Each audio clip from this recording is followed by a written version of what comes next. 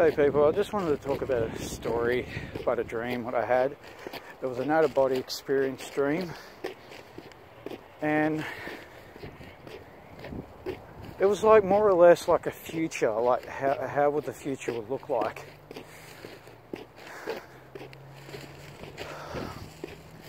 Um, it's very hard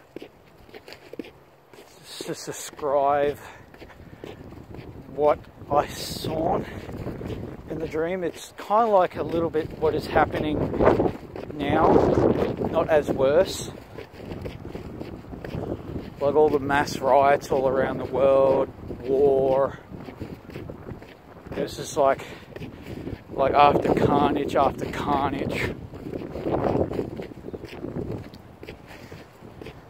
It's like the world just looks so ugly. It does. Just looks so really ugly. Like politics divides the people and all that stuff, and they're dividing people to left to right. You got people who believe in Jesus Christ got killed. People who believe in Jesus Christ practically get killed and stuff like that. And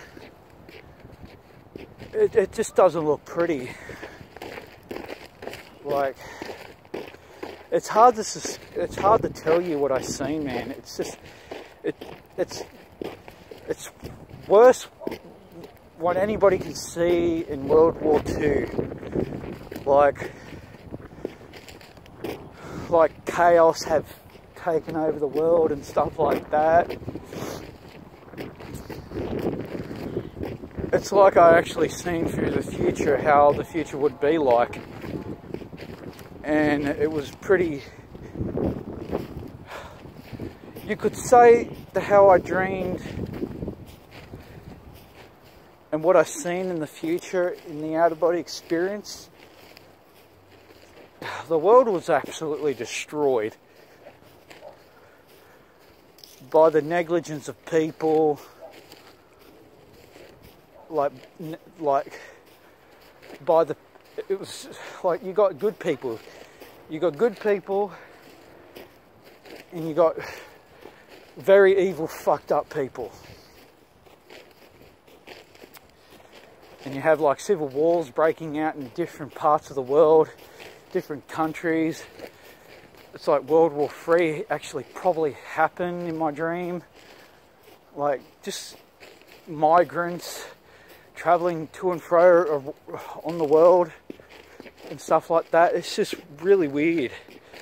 It's something you don't want to even freaking see. Even in your, it's like a nightmare. Like the world became a complete, absolute nightmare. And